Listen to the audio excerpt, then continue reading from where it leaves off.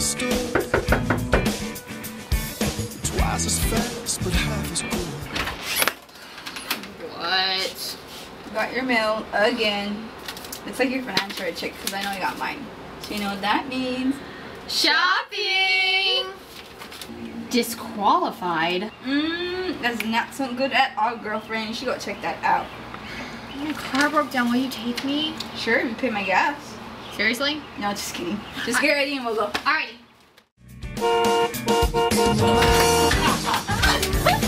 All the possibilities declined for a final version.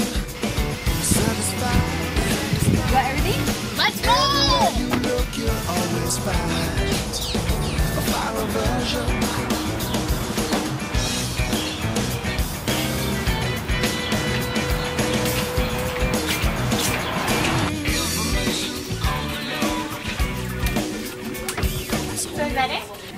But you have to also be checking your district issued email because that's the way we as a district are communicating now. Okay, Okay. thank you. You're welcome. Can I help the next student? Um, I received this through the mail. What does it mean? What is your student ID?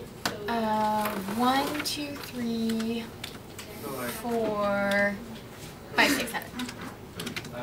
This letter was sent to you to inform you that you were placed to disqualification. What's that? You were placed on disqualification because you did not meet the SAP policy requirements.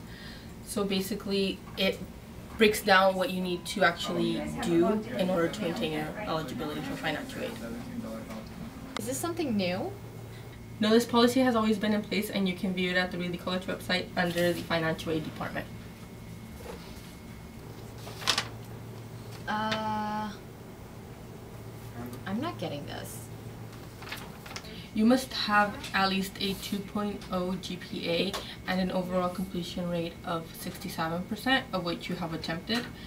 And if you do not meet those requirements, you must have an extenuating circumstance that can be documented. Attempted, completed. Mm, what's the difference? Attempted are the units that you signed up for and did not complete, and completed are the units that you actually passed with the passing grade in either Fresno City College, Reedley College, Oakhurst Center, Willow International, or Madera Center. So to give you an example, if you attempted 12 units and only completed 6 out of those 12 units, you have completed 50% and that doesn't give you the 67 that you need to meet the SAP requirements. Is that it? No, you will also have a maximum time frame to complete your degree or certificate. You guys never even warned me about this.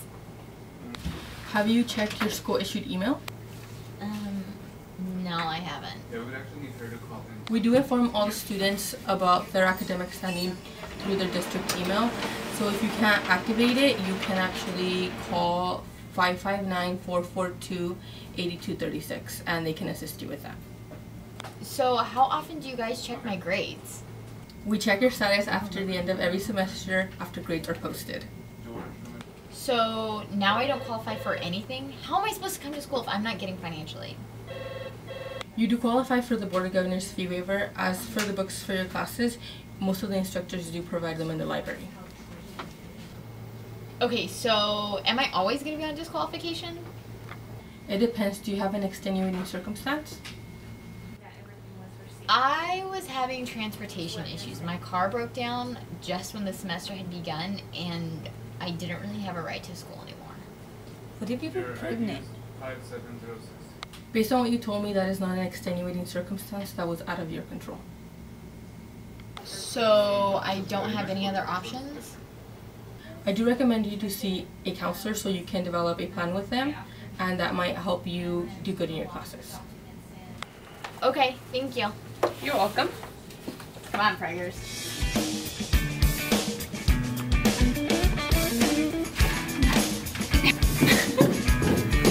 I feel. Man, I am so glad we went and talked to her. She would clear that up, and I need to get my email activated. Yeah, this is what I need to focus on now. Okay, you find me keys at EQ though. Oh, we actually have to go back. I have a text message from. Why? He wants me to get my graphing calculator and I need it, so. Okay. You got it? Yeah, I'm ready. Oh. There he is. Finally, Steven. Hey, what's up? Nothing much. We just came from financially. What are you watching? Oh, it's just some video me and my friends made last week on the SAP policy. Can we watch it? Sure.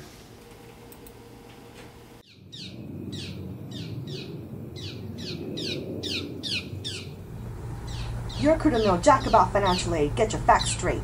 Say what?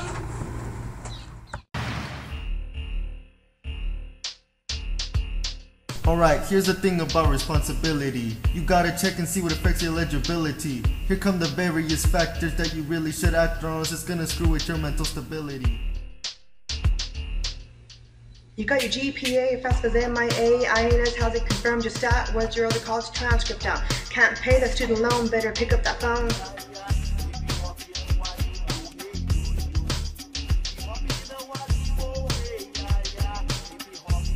Alright, y'all are not explaining all this logically. You gotta break it up, explain it chronologically. What are the basic standards that a student must grasp on in order to keep that flow of money mobility?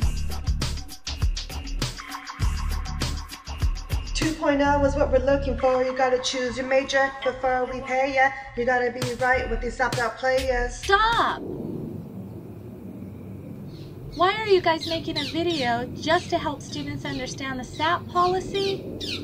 Here's what you need to know if you're a student within the State Center Community College District. Activate your school issued email account today and check it often. If you want to know all about the SAP policy, read it online. Turn that camera off.